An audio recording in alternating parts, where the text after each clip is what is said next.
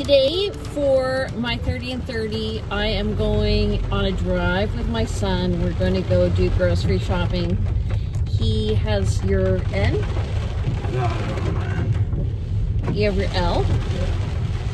So uh, I get to be in the passenger seat and uh, get to spend some time with him and just focus on him get to the next level in his life.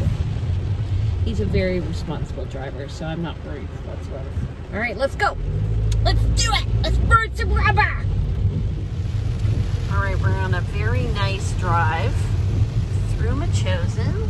It's one of my favorite views right there. There's the llama farm. pouring rain like crazy right now. But you don't get this beautiful lush scenery without the fabulous rain. What's the best thing you like about driving? Uh, listening to my music. Yeah, that's not gonna happen. So one of my favorite memories of Morgan when, I don't know how many years ago that was when we went go-karting and Morgan was in front of us. And as he was turning corners, do you remember this? No, I know this story. He would look out the back of the go kart as he was turning the corner, and I thought this kid's gonna drive no problem. Remember that? No. It was hilarious. So we're just heading out of Chosen, and this is a really nice area. This is Royal Bay. So this area was all a gravel pit, but it's all being developed in the past, I'd say five years. I sold one of the, I sold the first house actually here. And then that's the view of downtown Victoria. And that's the Royal Bay Park, which is closed right now because everything is, all the public parks in uh, Colwood are closed. And you can see that's the United States over there. What's great about this area is there's an elementary school, a middle school, and a high school, and they're all well run.